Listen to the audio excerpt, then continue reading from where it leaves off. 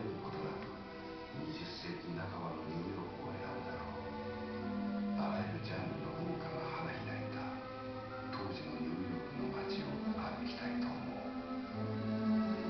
ビビランディ